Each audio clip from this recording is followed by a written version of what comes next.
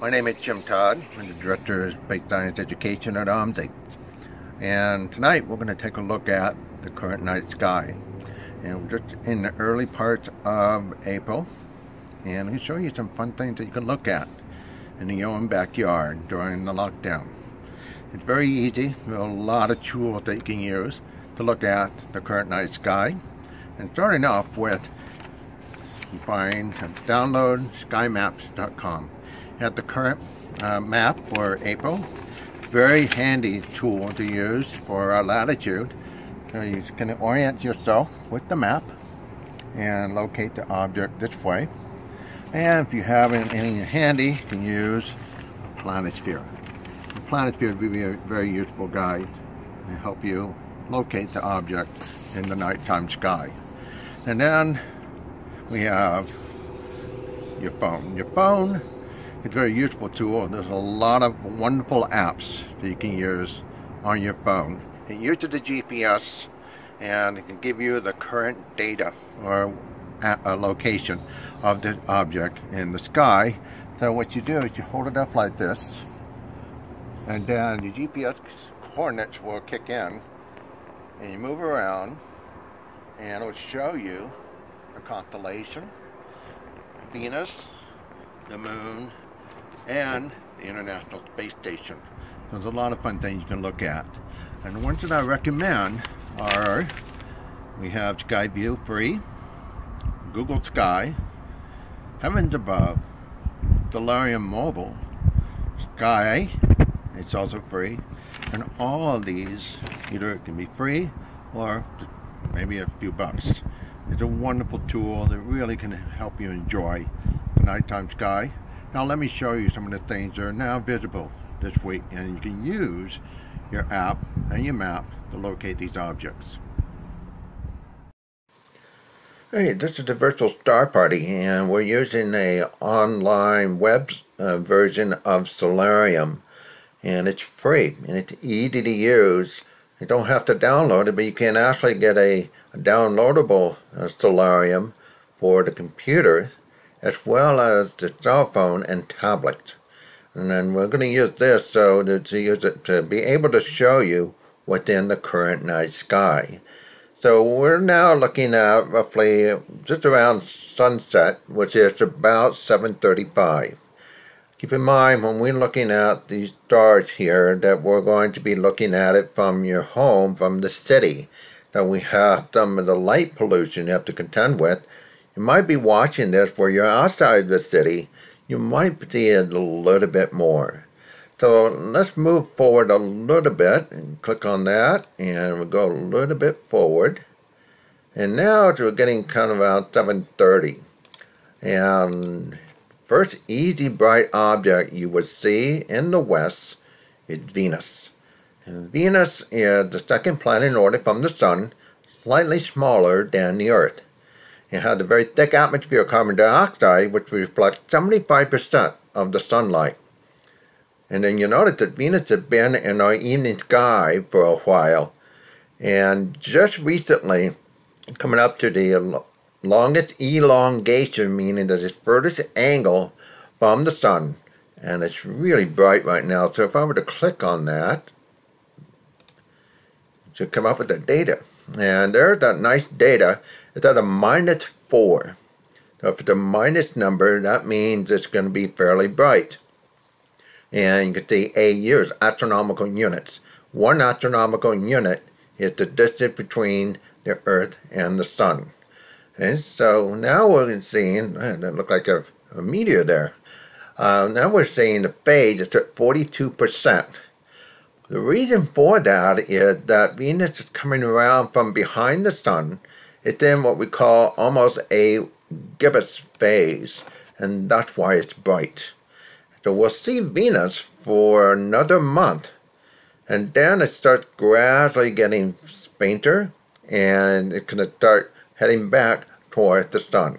So that would be the first bright object that you would see soon after sunset. Now, once you find west, because the sun is set, let me show you over here, go towards the north. There's east, okay? So if you're confused about the direction that you're facing, okay, one of the things that's hard from the city, you won't see all of the stars of the Big Dipper or the Little Dipper. So you have some landmark you refer to. In the south, you generally will see the moon. And the moon is over in the south. You notice it's not quite up yet. Okay? The moon was full uh, on April 7th. Then let's go back toward the north and I'm going to show you how to find Polaris. And Polaris would be a way that you can find north. So let's go a little bit further into the evening until you start seeing some stars. So here we are. Now you start seeing about down to the fifth and the sixth magnitude. Now bear in mind that some of these are not visible from the city. And so I'm just going to show you some ways that you can actually look for um, the North Star. Okay, now I want you to find the seven stars of the Big Dipper. And you see the Big Dipper? I'll show you the outline. There you go. The Big Dipper in the month of April before midnight is high above the northern horizon. It's seen as a spoon in the sky. Okay, there's seven stars. One, two, three, four, five, six, seven. There's the handle and there's the bowl. Okay, the Big Dipper itself is in the bigger constellation called Ursa Major, which is seen as the Great Bear in the sky. Right. So before midnight, you will find the Big Dipper. The Big Dipper is a very useful uh, guide to help you find other constellations and stars. This is actually an asterism. Ursa Major is the constellation. So we're going to take the two end stars of the bowl of the Big Dipper and draw an imaginary line until you come to the first bright star. And that star right there is called Polaris. And this is our North Star, the star that sits above the Earth's North Pole. And so once you find Polaris, Polaris is in the constellation of Ursa Minor. And Polaris, you see, is at about a magnitude of 2. Okay, so it's somewhat visible from the city. And that would be the first step to take these two stars, go down to Polaris. Polaris is in Ursa Minor. And this is seen as the small bear. So Ursa Major is the big bear. Ursa Minor is the small bear. And this is also referred to as the Little Dipper. The, but this time the handle is pointing up. Then you can see the other two bright stars in the bowl. Now the remaining stars in between are fairly faint. In some cases, when you have a bright moon or a view from the city, you can only see these three stars. Okay? And the remaining stars are down to the fourth, to fifth, and sixth magnitude. And so it gets kind of tough to be able to see all of the stars of the Ursa Minor. In fact, this is the guide if you want to go out and look at good night sky. If you can find all of the stars of Ursa Minor, and then that means that you're in good viewing. If you can see only some, that means it's a little bit challenging. So now we're facing toward the north. You have your compass bearings because you found, found the North Star. Okay? So you're facing toward the north. To your left will be west. To your right is east. And behind you is south. Now I'm going to show you this region of the sky right here. All of these stars in constellation close to Polaris is in a region called the circumpolar regions. And these are the stars that always stay above the horizon for our latitude. See, so as the Earth turns slowly counterclockwise, you will see that they stay above our, uh, our horizon. Okay. Now, it's what's important to point out that Polaris right here, okay, is about 45 degrees. So you can see it right there. Okay, that's called altitude. 45 degrees, meaning that 45 degrees above the northern horizon. So essentially halfway up the sky. So directly overhead at zenith, with the observer's view, would be about 90. at the horizon is zero. Right? And so you always see they're always visible tonight. That means it stays above the horizon. So imagine if you were at the North Pole. The North Star would be directly above you. The entire sky is circumpolar. If you're at the equator, the North Star is right at the horizon. There is no circumpolar region. So that's kind of a fun thing to talk about. Now over here we have what look like the five stars. This is Cassiopeia. And this is the, uh, the queen in the sky. Right? And so Cassiopeia is opposite to the Big Dipper. And once you find Cassiopeia, this is the way you can find the plane of the Milky Way. Now, as I mentioned that uh, when you view the night sky from the city, it would be difficult to see the Milky Way, and especially when the moon is nice and bright right now. And so this would be one way to find the Milky Way. Okay? So here you are, you have all of the uh, northern part of the sky. And I want to point out right here, this C 2019 Atlas, this is a bright comet that's now visible and it's getting surprisingly bright right now. And let's see if I can find the location of that particular comet. And we'll see that if I'm pointing around, it's going to be somewhere in there. Is there going to be a comet there? No. But there's a comet in that view. Okay? And it's going to be visible to a backyard telescope or binoculars and it will be in the northern part of the sky for a short period this month. And so that's another object you can view. Okay, so now you have north. Okay, and you orient yourself to the east, and then we're going to go over to the south. Okay, so for our program, I'm going to move from west to south to east. Okay, so let's take a look at the western part of the sky. There's mighty Venus, really bright. Right? And so the first thing you'll notice is all these bright stars over here. Okay? And so we're now looking at Orion. Orion has the three stars that mark the belt. And then we have Rigel, and this star right here is called Betelgeuse. Betelgeuse is a red giant star. Right? It's particularly bright and has that orangey color. And it's about a distance of 497 uh, light years away. What that means is that you're looking at the star at, at 497 light years away. The light that left that star, light speed, 186,000 miles per second, traveling 6 trillion, year, 6 trillion miles a year took about nearly 497 years to reach your eye tonight. So you're essentially looking back in time. So anytime we talk about light years, think about it that it's taken that long for light to reach your eye tonight. Okay? So here's Betelgeuse, the red giant star. Then there's Rigel. And Rigel is a bright star. It's about almost a zero but it's a hot blue-white star. Now what I'm going to show you is to zoom in a little bit. Yeah, so you all the bright stars in the region. I want you to follow my path. Now here's Rigel. There's the three stars of the belt. You follow these three stars to the left and you find Sirius. Sirius is the brightest star of the nighttime sky, the minus one. It's in the constellation of what we call Canis Major, which is the uh, a uh, dog, great dog in the sky. Okay, and then we have Orion, it's the hunter. Okay, and this is the dog. It's one of the Orion uh, hunting dogs.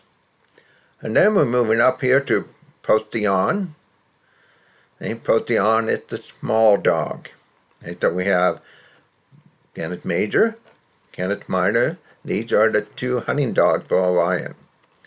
Moving over to Gemini, we have Pollux, magnitude about 1.29, and then we have Castor, about the same. So these are the two stars for Gemini, the twin, the brothers. And then over here we have Capella. Capella is fairly bright, and this is Auriga. Auriga is sometimes referred to as the goat barrier or charioteer. And then moving down, go back down to Aldebaran, uh, the Bull. Okay, it's another red giant star. And then back down to Rigel. So you notice that I made a circle. Rigel, Sirius, Procyon, Pollux, Castor, Capella, and then back to Aldebaran. Okay? This is known as the winter circle. If you connect all these uh, bright stars, sometimes referred to as the winter heptagon. Okay? And so we have all these bright stars in the region of Orion. Okay? And so we have the constellations, and we have some wonderful bright object that you can view with your backyard telescope or binoculars. And so we can go take a look here. Uh, the first object I want to show you is this one right here. This is right below the three stars. It's a belt of the Great Orion Nebula. Okay, so to get a little bit closer, and look the door. There it is, Orion Nebula. Okay, and right there, there's a huge nebulous cloud, and definitely worth a look. And so if I zoom in, this is a uh, nebulous cloud that's located about roughly at a distance of, let's see, what does it have the distance on there? And so um, this is a huge nebulous cloud that's about 100,000 light years across. And the reason that you see in the nebulous cloud is that you have the three bright stars called the trapezium, and they're at the core of the nebula. And in order to see the nebulous cloud, which is a remnant from a dead star, you have to have some star, bright stars nearby. So in in the nebula, we have a reflective nebula and an emission nebula. And the gas is made of hydrogen. And that's what gives it that reddish color in the picture. Okay? So this is an area where you see a stellar nursery, where stars are born and stars die. Okay? And so if you would imagine going there, you would see uh, the wonderful view of the nebulous cloud, and it's very easy to look at with your backyard telescope, okay? or binoculars for that matter. And so this is a Messier object, which is a catalog of 110 bright objects you can see with the backyard telescope or binoculars. And so uh, this is a catalog that was de developed by Charles Messier in the early 1600s, where he was a astronomer that was particularly interested in comets. So he kept coming across all these fuzzy objects while he was looking for these comets. So he cataloged them. And they're now called the Messier catalog. It's a 110 bright object that contains one supernova, globular clusters, nebulas, and galaxies. So, let me show you another nice object to look at. Go over here to Taurus the Bull. Okay? And over here, you see the Pleiades. Okay? And the Pleiades an open cluster of stars. And to go to Aldebaran right here, and then you go over here, it's right next to Venus. So uh, last week, Venus and the Pleiades were really quite close. Okay? But the Pleiades is an open cluster of stars, seven bright stars, some, some refer to the seven chickens. And this is an open cluster of stars. And what we're looking at when we see it, we see what look like a halo around the stars. Right? And that's because between us and those seven stars, there's some nebulous clouds that gives it that appearance. So this is an open cluster. A closed cluster is when the stars look tightly, uh, tightly packed together, right? And so you see that Venus is right in the vicinity by uh, the Pleiades. And then nearby, right over here, is another cluster of stars called the Hyades. It's right at the head up toward the bowl. And Aldebaran and Betelgeuse are the two red giant stars. And this is going to become of our sun billions of years from now. It's going to go from a yellow star to a red giant, and then it goes nova, become a planetary nebula. So just so that it's only 10 hmm, few billion years from now, so nothing to really lose sleep over.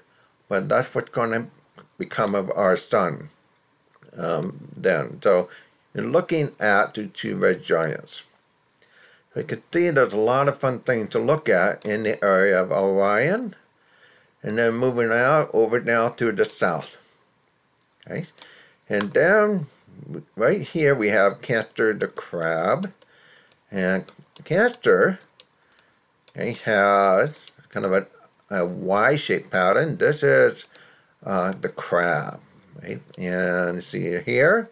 And you can also orient yourself right below the bowl of the Big Dipper. And we can find Castor. And then if we zoom in a little bit closer, you'll see what's called the Praesepe.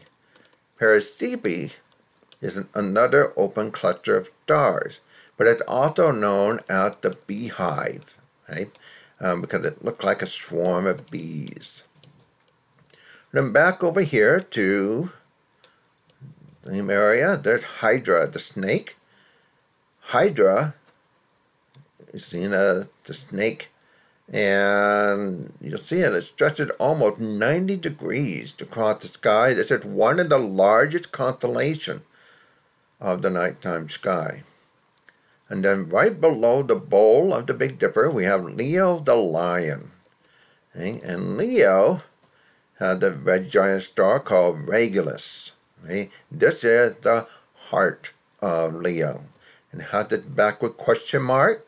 And down at the bottom uh, is Regulus. So the object that I just showed you should be fairly uh, easy to find from the city. And so you hopefully find this is how you orient yourself. This is what it would look like. And you have all these bright stars over here. Sirius is the brightest star. And then once you orient yourself, use the Big Dipper as the guide. Okay? And so you have Sirius, Procyon, Castor, and Pollux. And then right here, Capella, uh, Capella. Not the Capella. There's Capella right there. And then down to Aldebaran, Rigel, right? So kind of like taking a little pop quiz. And then go over here, there's Leo. Okay, there's the Big Dipper, the backward question mark, there's Regulus right there. And then this other bright star right here is called Denebola. And that means tail of an animal. Right? And so you have Leo right there, the Big Dipper pointing right down at it. So we're going to go over to the eastern part of the sky. Okay, and then you right away see a, another bright star. Okay, and I want you to remember this phrase eye curious, speed down to Spica. Okay? So we're still early in the evening. I'm going to go a little bit deeper into the evening. Okay, and uh, so it's almost dark. Okay, so we're going to now look at the Big Dipper. Use the handle of the Big Dipper to art the art curious. Arcturus. Arcturus is a huge red giant star and it's about 36 light years away. And you look at the star, this is one of the largest stars that you could see with your human eye. And if you were to replace that red giant star, replace our sun with it, it will go out nearly to the orbit of Jupiter. And Arcturus here, you take a look at it, it's in the constellation known as Bootes the Herdsman has the ice cream shaped pattern. And then follow on, we've got an Arc to Arcturus. And then there's the moon. I'll get back to the moon for a second. Okay, there's Arc to Arcturus. Speed down the Spica right there. Got the hot blue white star. And that's about 249 light years away. So what we're doing here, using a Big Dipper as the guidepost. Now, Arc to Arcturus, speed down the Spica. And Spica's in Virgo the maiden. It's one of the zodiacal signs, so it's Leo, Cancer, and Gemini. This is the plane of the ecliptic, okay, with the path of the sun and the planets. Here's the moon. The moon was just full on April 7th. Hopefully you got to see it. Known as the pink moon because it's named after a certain kind of flower. Okay? And it's also referred to as the egg moon or grass moon. And so it's just full on the 7th. And each day the moon moves eastward about 13 degrees. So tomorrow night you will find it 13 degrees further to the east. And so the moon goes around the earth in 29 and a half days. And so that means going from full moon to full moon and take 29 days and a half days to go around the earth once. And so to go through the phases. Okay? And so the moon up, it diminished some of the viewing of the uh, fainter stars. Right? And the moon will be new uh, around April 27th, when it, the moon will be in between the sun and the earth. Okay? So there's the moon, there's Arcturus, there's Spica. Those are the few fun objects that you could see in our current night sky. Okay? If you head toward the east, okay, okay, we see Hercules. Now Hercules has the keystone pattern of stars. And again, we're going to go back to the handle of the Big Dipper. One, two, three. You make a straight line. You will go to the keystone pattern of stars. And this is seen as the hero. Okay? And then Vega is just starting to emerge into the evening sky. Okay? So now, let's do this. I'm going to bring up the clock and we're going to go forward into the morning sky. People have been asking, okay, so where are all the planets? Okay, so we go into the evening, the morning. Okay, there it is, just before sunrise. Okay, and here, get myself oriented here. Okay, so we're facing towards the east. And just before sunrise, notice where everything that we just talked about, Orion is down, the moon is higher, Vega is up, and then look over here towards the eastern part of the sky just before sunrise, which is going to be roughly about uh, 6.51 now in early April, then at the clock, late April, we have the three planets, Jupiter, Saturn, and Mars. Jupiter is bright. Okay? Again, I mean, Jupiter uh, is about a magnitude of minus 2. Okay? So Venus is a minus 4, so it's half the brightness of Venus. So if you take a look at Jupiter, Jupiter is the largest planet in the solar system. Okay? And when you look at Jupiter, you see the four Galilean moons uh, that would be visible.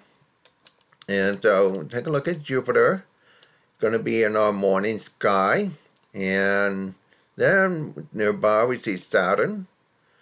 Saturn, it's about roughly a zero magnitude. And Saturn is a beautiful ring planet.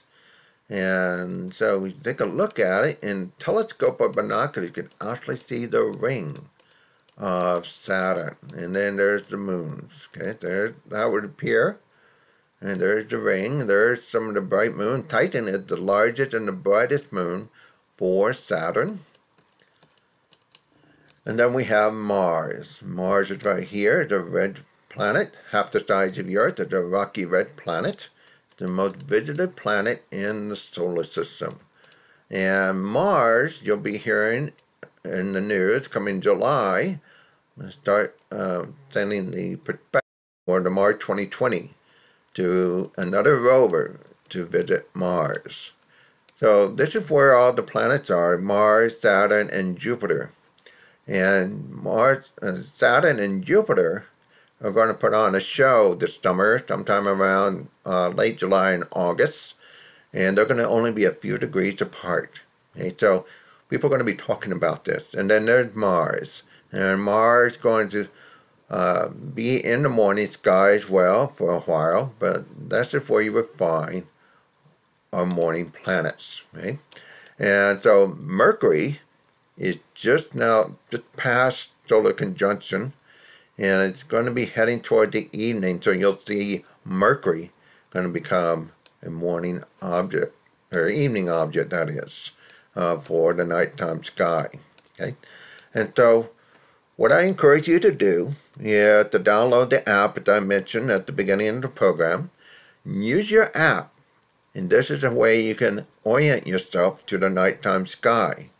And if you go outside and get connected with the GPS, and then you use your compass bearing, you can find all these objects on the variety of astronomy apps. You can also use skymap.com and download the map for the current night sky, and that's where you're going to find the latest uh, uh, constellation and the planets. And you download that map, map monthly and follow the news. Sometimes you'll hear in the news something's happening. Uh, later on in April, we have the the Lyrid meteor shower, and because it uh, requires to get away from steady light, it can be hard to see the meteors, but every once in a while you'll see some bright ones. And so this is the current night sky and hope you enjoyed it and uh, go out and take a look at the nighttime sky.